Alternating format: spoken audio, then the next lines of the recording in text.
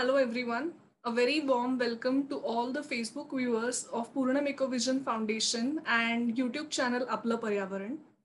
Today is our 47th webinar of this webinar series, and we are going live for the 47th week uh, on Facebook. Also, uh, all the viewers can see the same webinar after every Friday, and uh, you can all watch it on YouTube also. So uh, let us start with the uh, webinar today. Before starting, I would like to introduce you all to Poornam Ecovision Foundation. Our, all the viewers are mostly uh, now familiar with the process and also with Poornam's activities. But for those who are new, I would like to introduce you all to Poornam. So Poornam is a non-profit organization working on environment and waste management since eight years now and is meant to provide holistic solutions to the environmental problems which we are facing. So it is a social enterprise committed to betterment of society and environment. So Poornam deals with awareness, consultancy, services, research and development, product manufacturing and trading in waste management, sustainable agriculture, renewable energy and environment management. So the projects running under Poornam are fabric upcycling, under which we collect fabrics door to door every weekend through drives. Secondly, we have e-waste and plastic waste management program, under which similarly door-to-door -door collection of e-waste and plastic waste is done every weekend through drives and e-waste is refurbished as well as the plastic is recycled. Thirdly, we have cons green consultancy project under which lie four projects, namely composting, composting of wet waste, that is organic waste, rainwater harvesting, and biogas project, similarly for uh, organic waste. And fourth one is sanitary napkin disposal. So for participating in these projects and volunteering and association, kindly follow us on Facebook, Instagram, and LinkedIn. And for more details, you can visit our website, www.poornamecovision.org. So today uh, we have a session on uh, sustainable menstruation and sanitary waste management. So for that, we have uh, Hamsa Iyer ma'am with us. Let us all quickly get introduced to her. She is the program lead at Green Collar Jobs at Maharashtra Knowledge Corporation and founder at Eco Products in India. She is uh, passionate about sustainability and believes that we all need to co-create better environment for ourselves and the communities that we live in. So uh, she has been the program lead at Green Collar Jobs in uh, since past one year and is presently working over there. She is also the founder of Eco Products in India for full time and is working since two years and three months. Uh, since two years and three months. So she has also been a manager at Zensar uh, for CSR RPG Foundation. And uh, for two years and four months, she has been the manager over there. She has also been project manager at EcoSan Services Foundation for uh, four months in December 2015 to March 2016. She has been uh, Associate Fellow at Observer Research Foundation for one year and five months for uh, in the duration June 2014 to October 2015. So uh, we all know her profession. Let us know about uh, her education. She has been um, a student at EcoConnect Knowledge Foundation in association with IIT, NITIE, and Bombay Chamber of Commerce, which was a certificate program uh, into the, in 2020. She has been a student at Indian Institute of Human Settlements for the uh, course of programmer program for working professionals in urban development in urban studies and affairs in 2012 and 13 and uh, also been a student at uh, School of Development and Planning. She has done her MA in Sustainable Development and Planning in University of Pune for the year 2010 to 2012. So she has really been active in all these projects and uh, now we can uh, commence towards, towards our uh, today's webinar. She is going to guide us on the topic sustainable menstruation and sanitary waste uh, management. So let us all welcome her. Welcome Hamsa ma'am. Thank you. Uh, thank you ma'am. We shall now uh, start with the session. Sure, sure. Okay, so hi everybody who's joined in for the session. Thank you so much for being here. Um, I'm going to talk a little bit about um, alternatives in terms of what we can use for our menstrual hygiene. Uh, these alternatives are about reusables um, and they're also about, um, uh, they're also going to be a little bit about what do you do with, you know, disposable pads or tampons and things like that and what's the right way to ensure good disposal. So I'm just going to very quickly uh, present um, then you'll have to let me know if the screen is visible and then I'll, you know, start ahead. Yes, ma'am. Visible? Okay, so I'm going to switch, you know, back and forth in terms of my presentation a bit because I'd like you all to see some of the stuff that, you know, is very, that I've been using. I'm very comfortable to uh, share with all of you what I have used and talk also from my own experiences. And I found them to be very useful uh, when there is this narrative.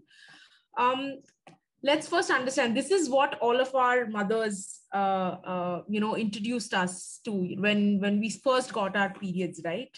Um, and i remember that uh, we had this very interesting session at school where all of us were shown us all of us meaning all girls only were shown uh, that this is a pad and this is how you use it. And you know there's a small stick on peel layer which is like the newest thing. And that that was like the newest thing in the market at that point of time. It has wings uh, so the pad will not move. And you know it will make sure that you don't have a stain on your underwear. Um, and for almost all of you know the 12 years that i used uh, this sanitary pad um, it never struck me once to think uh, what's in this pad um, and you know what should i be doing with this? So all i knew that i would use this pad and it would go into a dustbin which was you know wrapped either in the same cover as the pad or would be wrapped in a newspaper and just left it there.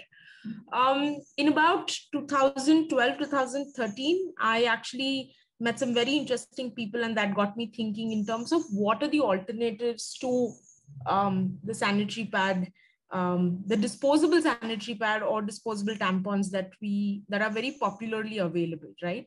And almost every sanitary napkin ad has you know uh, a campaign that talks about you know more absorption. Um, there are you know breathable bottom films. It's 100% cotton. Uh, you know it has it's not going to stink. It has like this perfume. Um, and you know it's going to keep you feel like you know it's going to make you feel not wet you'll have a dry feeling when you use some of these products.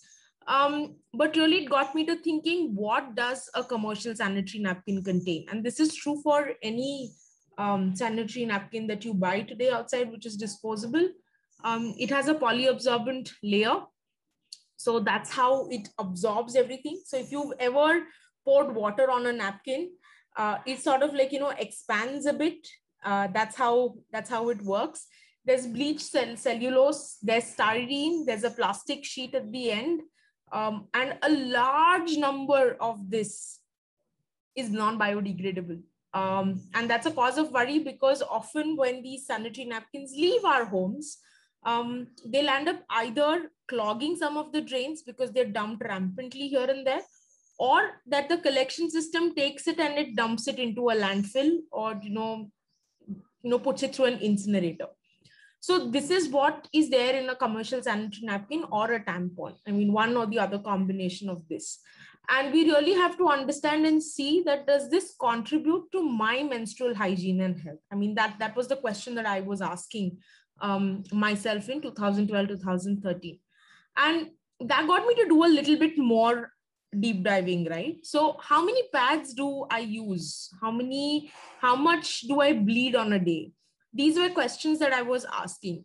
You ask a woman who's going through menstruation and she'll tell you, listen, I've got like Brahmaputra, like it's just coming all over. And I think that, you know, it's so much that I can't even put a number to it. Um, we'd have 420 periods in a lifetime. And when you look at it, that's about 150 kilos of sanitary waste that every single menstruator is producing today. Um, it's a lot, you know, to take ownership and understanding of this 150 kilos of sanitary waste.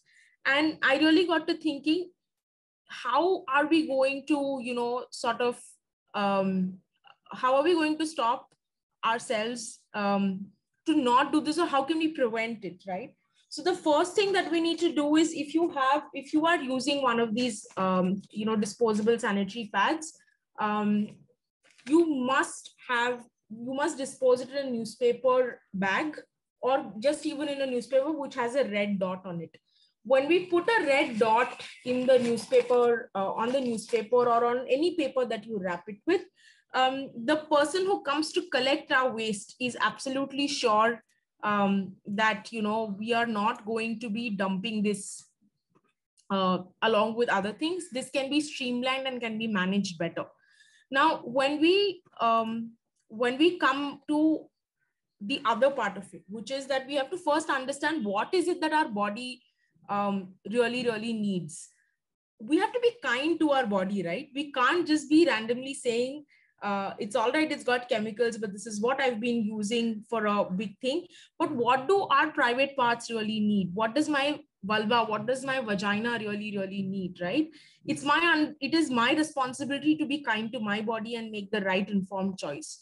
So for me, I very clearly said, I don't want to put these harsh chemicals anymore. Um, and I'm going to shift to something far more sustainable. Um, and you know, what was the alternative in front of me?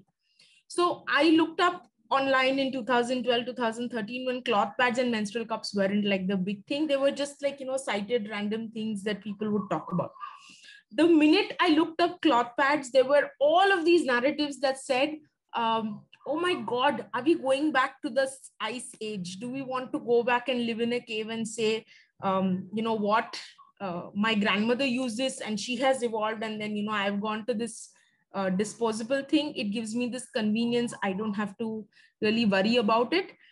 Um, but increasing a lot of us are also complaining about, you know, the rash that we have. Um, and what is then the healthier alternative to us? So I actually tried some of these cloth pads. And in fact, I want to show you a cloth pad that I used uh, five years for five years. And I recently split it up. You look at it that there's uh, really, really no stain. You can just see a little bit of bleaching, which is normal. It happens even in, you know, your regular underwear. And that's because of the pH levels in our uh, vaginas. And I want to show you the inner layers of my cloth pad, right? Like this is, this is eight layers stitched together. And you can see that there's no stain on it. And that is because I took absolute care of my cloth pad and made sure um, that it was sun dried a large amount of our narrative around cloth pads comes and emerges from the story that it is the cloth pad has to be hidden somewhere and that it is left drying uh, you know in a damp corner in a place where there's zero ventilation and it's almost about you know little moist when you have to reuse it again all of my cloth pads that i have um, are all sun dried and they're of different sizes um, this is again from one of my oldest batch. Um, I use different sizes. Um, this is another pad that is still in use. It's, it's white in color. And I can tell you that they, they're really, really convenient because um, they have these stitch pins around them, uh, making it very easy and very convenient to use it um, as we go along, right? Today's infrastructure on sanitary waste uh, looks a little bit like this uh, a lot of companies, a lot of organizations have installed incinerators where you can burn some of these sanitary pads. They're not really the best way to deal with it um, because even they, you know, have some kind of residue and we need really need to understand the potency of the residue and in terms of how safe that is for our plant. Um, so that's like a lot of work to be done in that space. The cloth pads are really, really easy. They're leak proof. They can, they fasten to underwear. And these are some of the prominent brands that are, you know, available. Um, who've been making cloth pads for a very long time. I got my first cloth pad from Eco Femme. Um, and this is my cloth pad from Stone Soup. This is a cloth pad from Rutu Cup. Rutu pads. Um, and all of them are really, really great. So if you think that uh, cloth pad kahan se banega, kaun dega, these are all your options that are easily available um, uh, pan India. Of course, there's a uh, there's a school of thought for DIY as well. Our grandmothers always had DIY at the heart of you know every good tradition and they would actually have like a sari which you could you know uh, which would be cut into smaller pieces and you would just fold it and then just use it on your underwear. The problem was that this sort of found it very difficult to stay in place. So there are also options where you know you can have a jacket and then you can just attach a couple of these um, inserts and these inserts are very quick to dry. They're like one layer of cotton that you can put it out to sun dry. Nobody needs to know that it's actually your cotton uh, cloth pad. If at all you want to you know keep it a secret from everybody. Uh, but in reality you know menstruation is our origin and uh, that's where we all come from. So we you know dry your cloth pad out with pride. Um, how do you maintain a cloth pad right?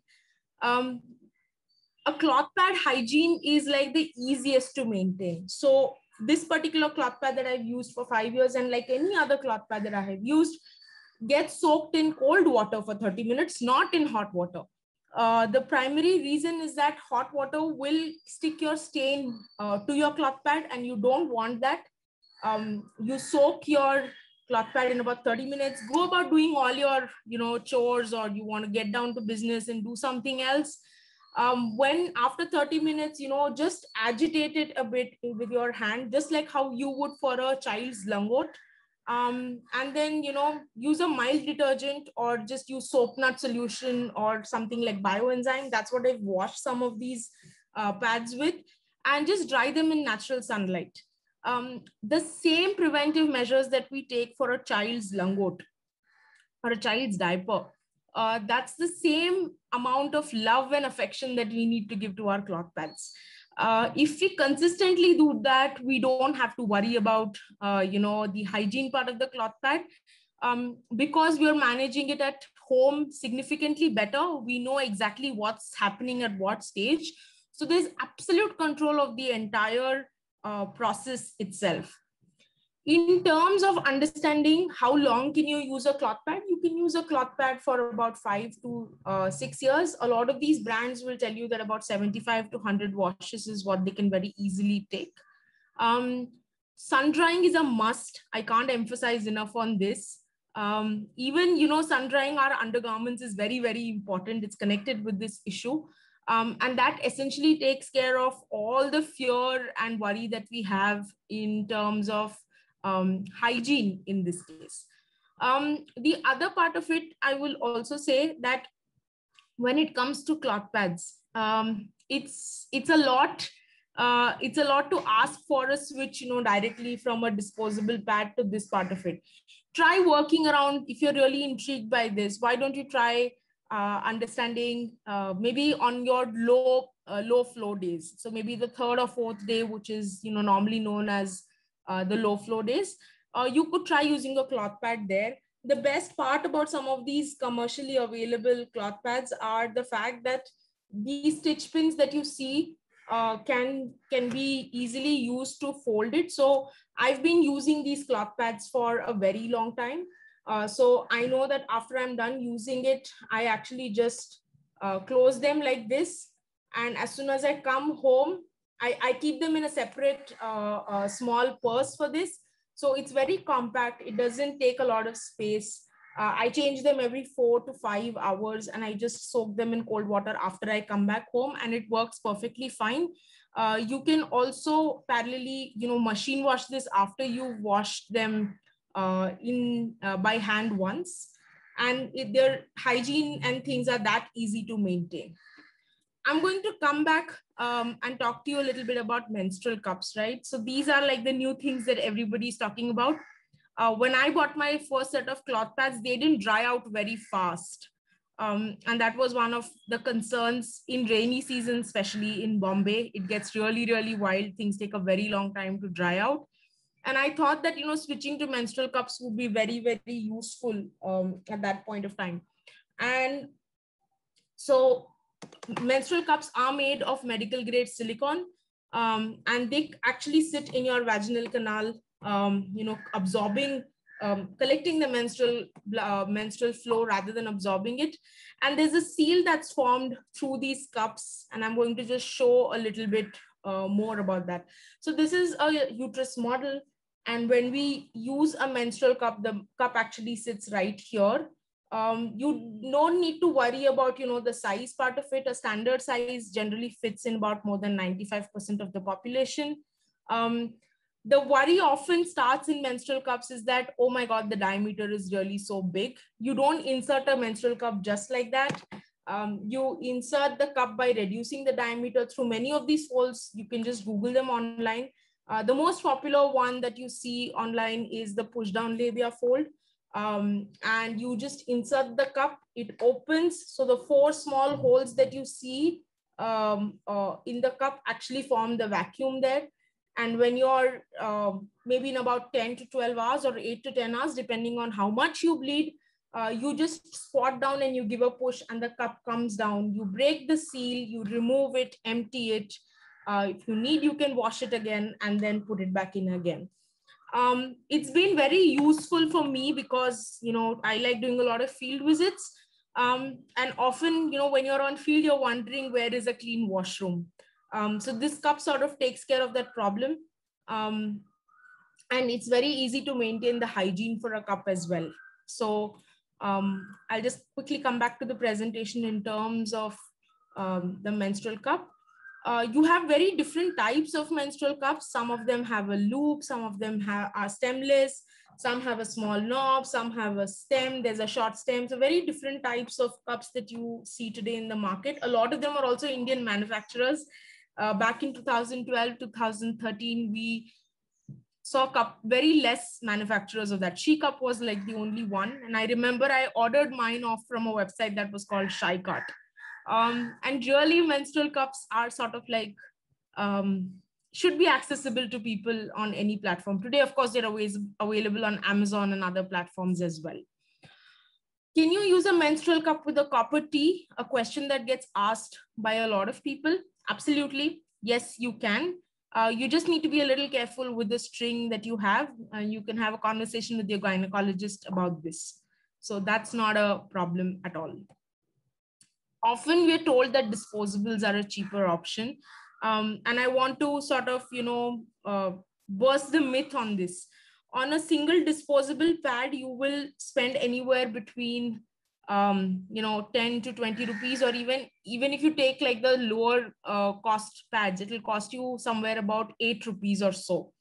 And um, between that and the, the cloth pad sets, so you have a full set that costs you about thousand rupees an average. Um, or even in that, if you were to look at only an insert kind of a thing with one jacket, that will cost you about 300 rupees or 350 rupees. Um, that versus a menstrual cup, which costs you about 1000 rupees. This is like a one time kind of a uh, investment. So as homemakers or as people who are conscious of making their choices, right? We also let price determine where and how we make these choices. Um, that way also sustainable menstrual hygiene options um, are much better. I'm just going to show some math for you. Um, we need to understand not just the cost of it, but at the same time, you know, how are we going to be uh, using what's happening at the end of life? Uh, what's happening there? How can we, you know, ensure that, you know, some things are used over a certain period of time? Um, and I'm going to just, you know, give you a minute to go through these numbers um, so that it goes there. So actually, very interestingly, we've now been using this um, old cloth pad. I don't want to compost it. I know that there's a little bit of life. Uh, so we've just been using it to clean up our computers because this the cotton is very, very nice and it's absolutely clean cloth. So why not, you know, reuse it as much as we can before we uh, figure out whether we want to compost it or whether we find another purpose for it. So really repurposing, reusing uh, whatever we have at home is at the heart uh, of sustainability. And it's not any different in this case as well. Um, I also want to talk a little bit about cloth diapering because uh, we cloth diapered our daughter completely and exclusively for two years. Um, and we followed traditional wisdom in this case a lot of um, this is what normally you find in markets the disposable diaper which costs on an average of 8 to 10 rupees. Um, and we actually had a stash of really fun printed cloth diapers uh, the old fashioned origami langot some inserts and different things as well. Um, diapers contribute to a large portion of sanitary waste and i think it's very important for us to address this. Um, this is how we did the origami langot for our daughter. Uh, just cut up old pieces of the uh, grandmother's sari and we just, you know, made a great uh, set of it. We had about 30, 40 langots, uh, which then got passed on to a bunch of other kids and they also used the same and they've actually passed it on to somebody else. And I've, we also now repurpose some of these as a bib for our daughter um, and it's perfectly fine because all of them have been very hygienically maintained and managed uh, right at home. Um, I remember my mother didn't um, use any disposable diapers on me. Uh, and I've just passed on that knowledge um, and that practice with my daughter. So the cloth diaper is also very similar to your cloth pad. Uh, you shake and spray your poo or poo or pee that is there on your in within your toilet. Uh, you can rinse hand agitate and then and you know just put it in your washing machine for it and then sun dry it um, sun drying is very very important. So i again i can't emphasize enough on this. It just takes care of a lot of other problems um, if it were not uh, managed very well. And again um, i'm going to say that you know a cloth diaper is significantly cheaper in the longer run. A huge set of babies uh, can you know benefit from the fact that um, cloth diaper, one set of cloth diapers can be passed on to another. Uh, it's a one-time investment that you know one set of parents can make. Uh, I remember a lot of our close friends actually gifted us cloth diapers because they said we want to gift you something useful, um, and that helped us bring down our recurring costs. If had we chosen had we chosen disposable diapers, so um, I'm going to stop here and you know um, take in any questions or any comments that you have. Uh, Tanvi, over to you. Sure. So first of all, thank you so much for guiding us on this important topic, uh, which we are discussing right now.